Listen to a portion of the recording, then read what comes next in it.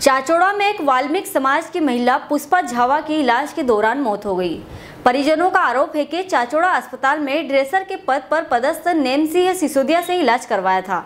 नेमसिंह सिसोदिया अपना निजी क्लिनिक भी चलाते हैं, वहीं पर इलाज कराया था। इलाज के दौरान अचानक महिला की तबीयत बिगड़ने लगी, जिसके चलते आनन फानन में महिला को इंदौर अस्पताल ले जाना पड़ा। वहाँ महिला की मौत हो गई। परिजनों ने डेड बॉडी को लगभग एक घंटे थाने के सामने रखा एवं दोषी ड्रेसर नेमसिंह के विरुद्ध कार्यवाही की मांग की। पुलिस की समझाइश के बाद परिजन पोस्टमार्टम के लिए तैयार हुए। फ़िलहाल महिला का पोस्टमार्टम किया जा रहा है एवं पुलिस मामले की जाँच कर रही है। वहीं चाचोड़ा अस्पताल में पदस्थ डॉक्टर एस के पटवा ने बताया कि अस्पताल में ड्रेसर के पद पर पदस्थ नेम सिंह सिसोदिया अपना निजी क्लिनिक भी चलाते हैं और वहाँ पर मरीजों का इलाज करते हैं।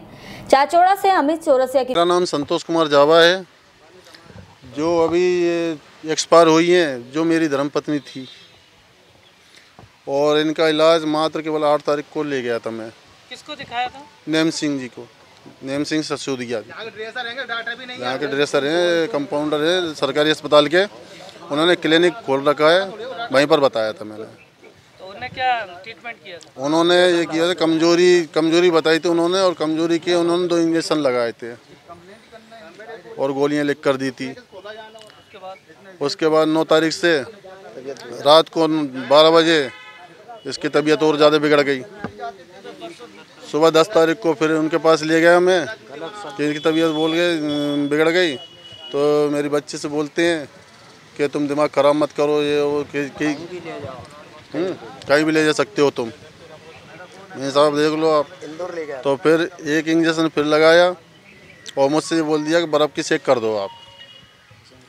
इंदौर में डॉक्टरों ने क्या कहा इंदौर में डॉक्टर ने ये बोला कि ये ये किसने लगाया? है? हाँ ये चाचोड़ा जो प्राथमिक स्वास्थ्य केंद्र है यहाँ पर नेम सिंह जी सिसोदिया हैं जो विगत कई वर्षों से यहाँ ड्रेसर की पोस्ट पर हैं। और उनकी यहीं ड्यूटी है इस अस्पताल में? ये क्या ये क्लिनिक भी चलाते हैं क्या? वहाँ पे इलाज करते हैं जिस तरह हाँ इनका यहाँ पर एक निजी क्लिनिक है और एक अलग से अस्पताल है इनका।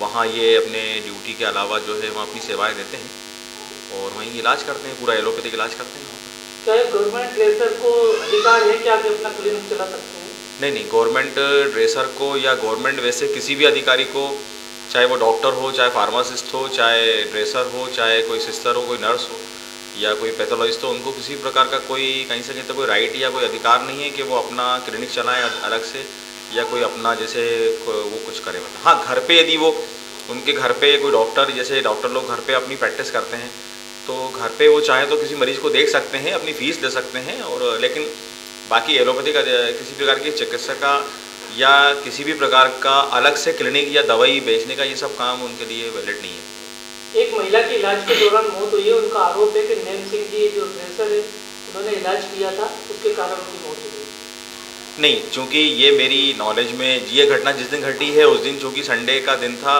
और उसके अलावा बाकी मेरी ओपीडी टाइम में तो इस टाइप का कोई पेशेंट यहाँ ना तो देखा गया है क्योंकि यदि देखा जाता तो वो मेरे ही द्वारा देखा जाता।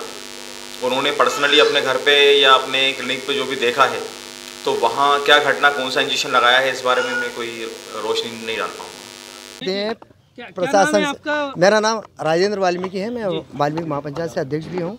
और हमारी साहब यही मांग है पूरी समाज की कि निष्पक्षता से इसकी जाँच होना चाहिए दोषियों के खिलाफ सख्त कार्रवाई होना चाहिए और जो पीएम जो हो रहा है यहाँ पे लोकल में उसमें किसी प्रकार की छेड़खानी ना हो। अभी आपकी पुलिस से बात हुई क्या कहना है पुलिस में अभी हम एक घंटे से यहाँ पे डेड बॉडी लेके खड़े हुए हैं। पुलिस कार्रवाई कर रही है। पीएम के लिए बोला है, डॉक्टर आ रहे हैं और अभी तक यहाँ तक है कि अभी तक कोई कार्रवाई तो हुई नहीं है। आश्वासन ही मिला है, ना अभी ना अभी तक कोई डॉक्टर आया है। पूरी समाज यहाँ दो घंटे से परेशान हो रही है और किसी प्रकार का अभी कोई, यानी जिस तरीके से सीरियसली से जो लेना चाहिए, वो अभी तक कोई एक्शन नहीं। हेलो फ्रेंड्स आप देख रहे हैं हमारा channel S W twenty four news हमारे सारे वीडियो सबसे पहले देखने के लिए आप हमारे चैनल को सब्सक्राइब करें और पास में लगे बेल आइकन को दबाना बिल्कुल भी ना भूलें।